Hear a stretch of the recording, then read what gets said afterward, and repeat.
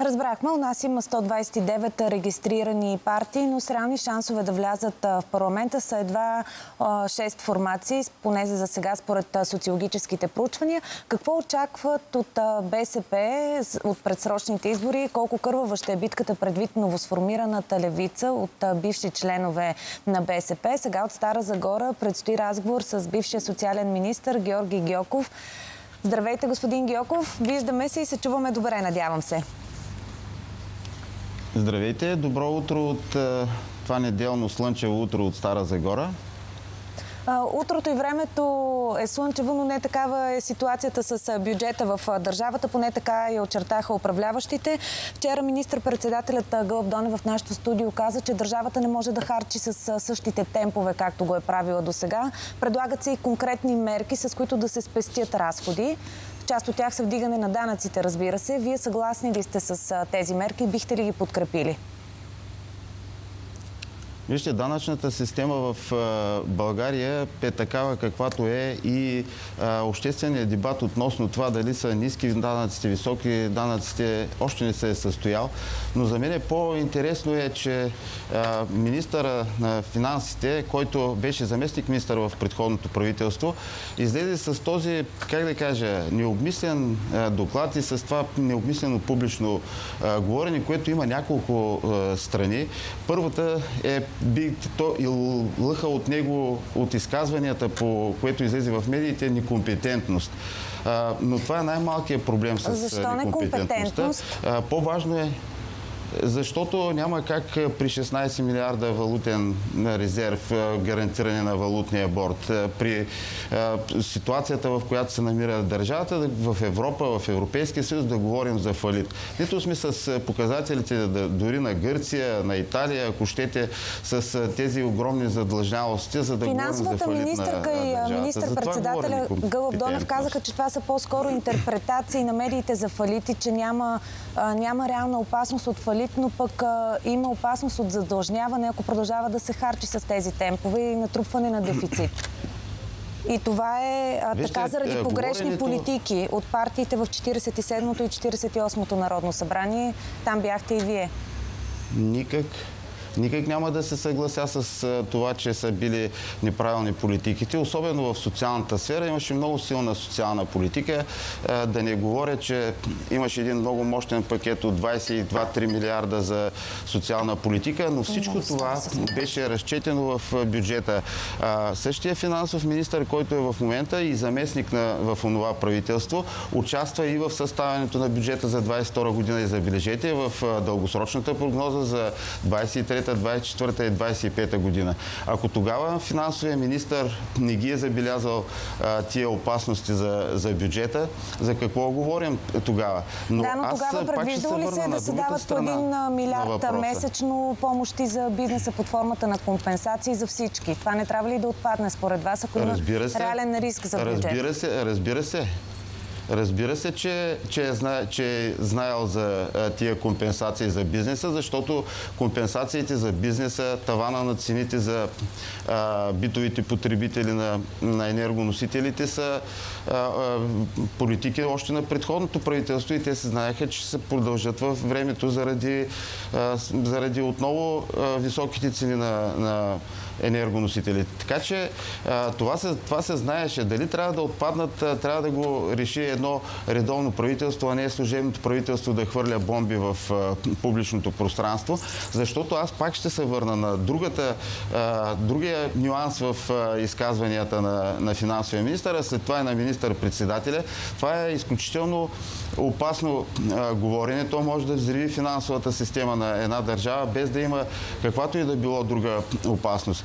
В такава ситуация, когато финансовия министр а, говори за нестабилност на държавата, после министър-председателя след него тръгва да замита а, така, негативното разбиране на, на говоренето на финансовия министр, в нормалните държави а, финансовия министр се подава оставката и се заминава. Тоест, вие искате оставката да е на финансовия министр? Знае как да говори през оставете кой иска оставката на финансовия министр. Служебното правителство и служебния финансов министр ще си отидат така или иначе след избирането на редовно правителство, така че е излишно да му се иска оставката. Въпросът е какво ще дойде след това и не е ли... Казвам, не е ли споделена отговорност на партиите вътре в Народното събрание да се грижат хем за доходите на хората, хем и бюджета да е стабилен, защото видяхме преди да се разпусне Народното събрание, намали се прага на помощите за бизнеса, намали се още ДДС-то за някои сектори и така на практика влизат по-малко приходи в държавата, излизат много разходи.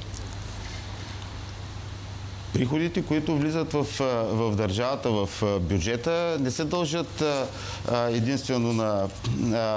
лошото състояние на приходите не се дължат на това, че а, има много помощи към бизнеса, към хората, а се дължат на, на безхаберността на служебното правителство, което не успява да събере а, тия дължими данъци, което пък от друга страна навява на мисълта, че има чадър разпънат над някои фирми. Напротив, вчера министр-председателят каза финансите. Министър-председателят каза вчера тук в студиото, че с 1,3 милиарда лева над събираемостта на данъци има от между миналия януари и февруари сега. Аз други е, финансови експерти е, слушах, които твърдят, че е, трябваше да имаме приходи от данък добавена стойност с 300 милиона повече за тия първите месеци на годината, а се оказва, че са с 100 милиона по-низки от миналата година, което далеч се разминава с говоренето за висока събираемост.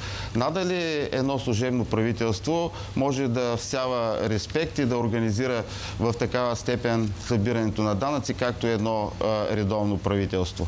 Да минем... а, така, така че а, проблема остава.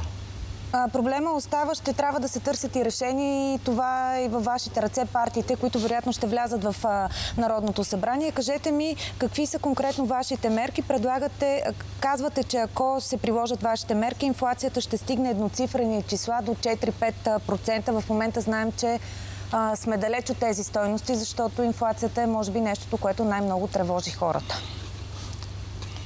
Това го казват всички партии, че ако те управляват държавата, инфлацията ще бъде овладяна. И ние на кого ние да повярваме? с много ясна и точна Разбира се, че на, на, на БСП, защото назад във времето е доказала с, когато е участвала във властта, пък и дори в опозиция е предлагала разумни решения, които да доведат до успокояване на, в случая говорим за инфлацията, но въобще на економическия и обществен живот. Такива сътресения, като тия от последните години, никога не, не е имало, когато е управлявала Българската социалистическа партия през последните 15 години. Не е ли прекалено оптимистична тази прогноза? Това искам да ви попитам.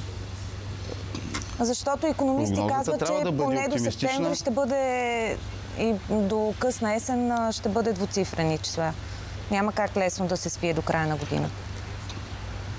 Прогнозата трябва да бъде оптимистична, защото по този начин няма как да продължаваме. Всеки българин го вижда по джоба си, когато отиде а, до магазините да си купи основни продукти, а, жизненно важни за, за него. Аз не говоря, че а, някой не може да си купи лек автомобил или, или пияно, да речем. Въпросът е, става, става въпрос тук за продукти от първа необходимост, за, които са жизненно важни за, за живота на българите. И отново искам да кажа, че ние като партия излязохме с много ясна и точна програма програма, в която се гради на три стълба. Първото, първия стълб, ако може, освен традиционните за БСП политики, да осигурим благодействието на българския народ, да овладееме тази инфлация и предлагаме абсолютно конкретни мерки, които се прилагат в останалите европейски държави. Назовете една от тях. Например, таван на цените. Сега се, например, таван на цените. Всички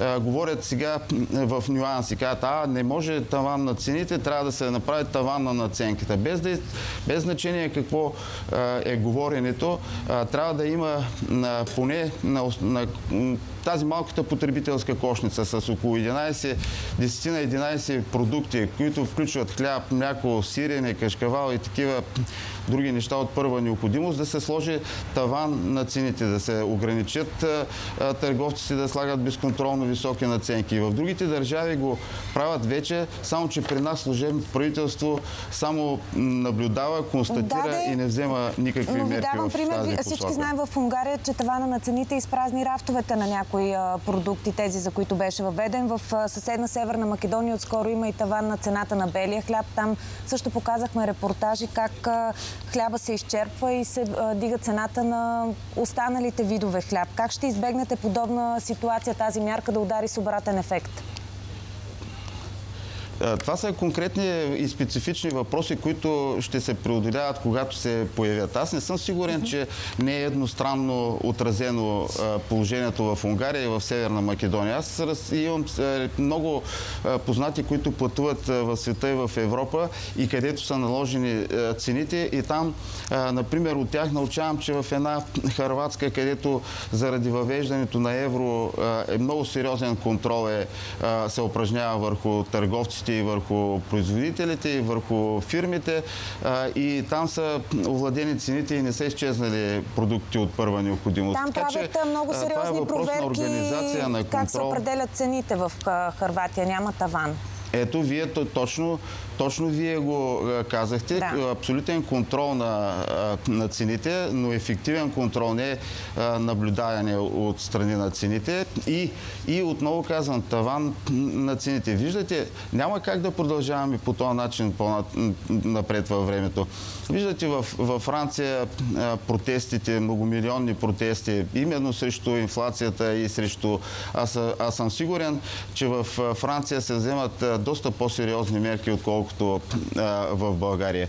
Е, важно е, че няма как да продължаваме нататък по този начин и трябва някой да поеме отговорност за управление на страната, да овладее тази инфлация, да овладее цените, за да може България да бъде изградена като стабилна държава, не само финансово и економически, а хората да усещат едно спокойствие, когато живеят в България. И това ние го предвиждаме в нашата програма, програмата на, на БСП. Друг е въпросът как ще убедим българите в това всеобщо политическо говорене, че ние сме прави. Но аз мога да, да. дам примери много назад във времето, когато Именно ние първи ще... заговорихме за таван на цените. Между другото, ние към момента имаме а, таван на, на някои а, цени, така че а, не е проблем. Например, на таван цени? на цената на битовите потребители, на потребителите за, на електроенергия, битовите потребители, които първи заговорихме за този таван на цените. Всички десни партии бяха да. против, защото не било пазарен принцип, но нали си представите българите какво е, какъв каква цена биха плащали на тока сега, ако бяха на свободния пазар и нямаше такъв таван на цените. Така е, но ще видим избирателите какво ще електроенергията на нивата от 20-та година. А на финала кажете ми... Регулаторите Регулаторите, само да кажем, че а, те са едно много полезно за едно демократично общество институция. А, въпросът е, че те се командват от правителства и губят а, ефекта, който трябва да имат техните решения. На финала кажете ми от последното проучване на Тренд сочи, че БСП губи част от подкрепата си, остава на 7,5%, като причината за това е, че част от вашия електорат се насочва към новата коалиция Левицата, която вече и дават около 3,5% шанс за влизане в парламента, т.е. много близо до бариерата. Смятате ли наистина, че това ще бъде проблем за БСП на тези избори? Много са важни социологическите поручвания в процеса на, на изборите. Въпросът е, че те не са крайния резултат от едни избори. Може да познаят и да имаме 7% и половина, но може да има изненада на, на изборите, защото отново казвам, ние сме предвидима партия, вземаме решенията си прозрачно пред цялото общество. Направили сме добри неща през последното управление и влизаме с вдигната глава в тези избори за пореден път, защото и в краткия живот на 48-то Народно събрание показахме, че можем да водим битки в името на хората. За левицата аз нямам притеснение. Наблюдавам как действат тук в Стара Загора и Старозагорско. Имам представа как действат и в, в страната. Сигурно ще откраднат гласове от, от БСП, но смятам, че социолозите прекалено са надули нагоре резултатите и няма да има такъв, такъв отлив на гласове от, от БСП, не вярвате, защото на тези. левицата не, по-скоро не сте съгласен с тези данни, казвате, но все пак ако успеят да минат бариерата и влязат в Народното събрание, потенциален ваш партньор ли са и ще си сътрудничите ли с тях? И кого въобще виждате като партньор тази ситуация? Ние казахме а, е, още на нашия конгрес, който беше в навечерието на изборите, че потенциалните партньори в а, е, едно следващо управление ще ги определим всички заедно на, един, на едно допитване сред а, партийните членове масово.